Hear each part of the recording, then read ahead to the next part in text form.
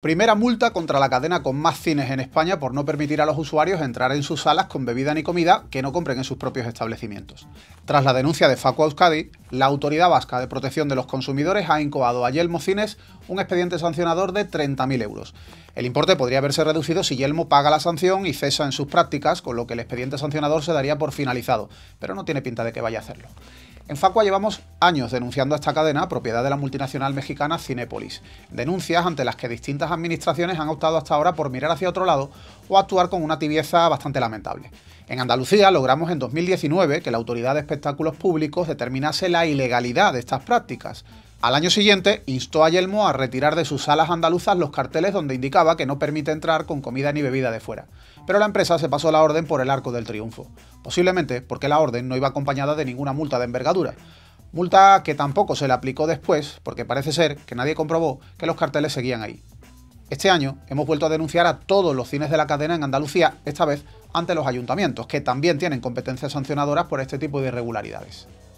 En Madrid, en 2023, hemos llevado a Yelmo a los tribunales.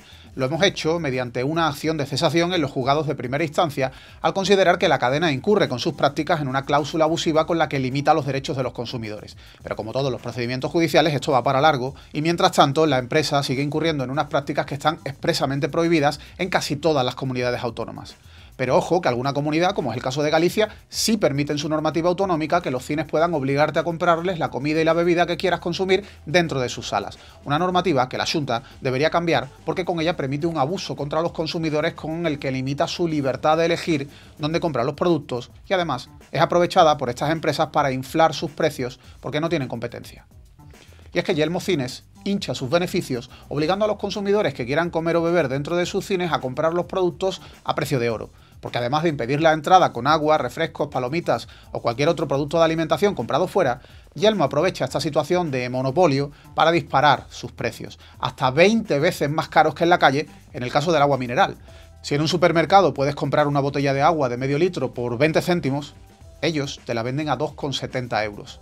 Y si en el supermercado te encuentras la lata de refresco a partir de los 30 céntimos, en Yelmo el refresco más pequeño te lo venden a 4,95 euros nada menos.